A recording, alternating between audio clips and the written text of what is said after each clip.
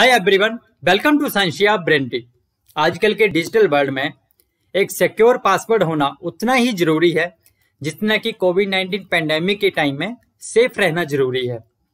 तो इसी कंटेक्स्ट में वर्ल्ड पासवर्ड डे सेलिब्रेट किया जाता है। तो वर्ल्ड पासवर्ड डे जो है, हर साल जो मई मंथ होता है, उसका जो फ़र्स्ट थर्सडे होता है तो उस दिन वर्ल्ड पासवर्ड डे सेलिब्रेट किया जाता है। आज जो है वो फ़र्स्ट थर्सडे है, मई मंथ का तो इसलिए आज जो है वो वर्ल्ड पासवर्ड डे सेलिब्रेट किया जा रहा है, ठीक है?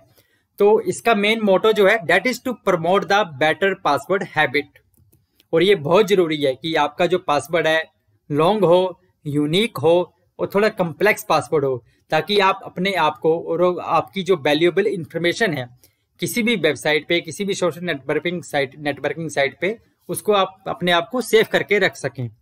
तो इसके कुछ की पॉइंट्स हैं एक स्ट्रॉन्ग पासवर्ड के लिए और अपने आप को जो साइबर क्राइम है या जो हैकर्स हैं, जिससे आप अपने आप को बचा सकते हैं मतलब एक सिंपलेस्ट वे में। तो फ़र्स्ट थिंग इज़ कि जो अपना पासवर्ड है, उसको चेंज करते रहें। जो अपना ओल्ड पासवर्ड है, हर कुछ मंथ में चेंज करते रहें। और जो पासवर्ड है आपका वो लंबा होना चाहिए स्ट्रॉन्ग होना चाहिए, और जितना कम्प्लेक्स होगा, उतना ही अच्छा अच्छा होगा। मतलब उतना ही देर तक आप अपने आप को हैकर से बचा के रख सकते हैं।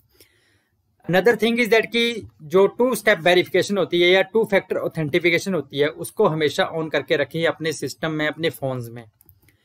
देन अपना जो पासवर्ड है, कभी भी अपने कंप्यूटर्स या अपने फ़ोन में सेव करके ना रखें।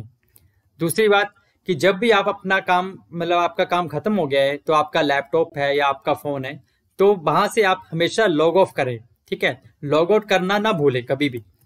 अनदर थिंग इज़ दैट कि जो साइबर सिक्योरिटी कंपनी है अवास्ट वो ये सजेस्ट करते हैं कि जो लॉन्ग पासवर्ड होना चाहिए।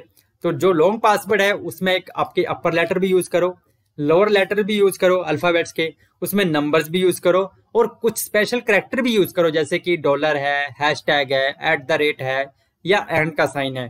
तो इस तरह से जितना कम्प्लेक्स आप पासवर्ड बना सकते हैं by the combination of letters numbers और ये जो स्पेशल करेक्टर हैं उतना ही सेफ़ जो है वो आपका सिस्टम और आपकी जो इंफॉर्मेशन है रहेगी from the attack of hackers then ये भी एडवाइस किया जाता है कि जो अपना पासवर्ड है, एक ही पासवर्ड जो अपने सभी अकाउंट के लिए यूज़ ना करें कभी भी।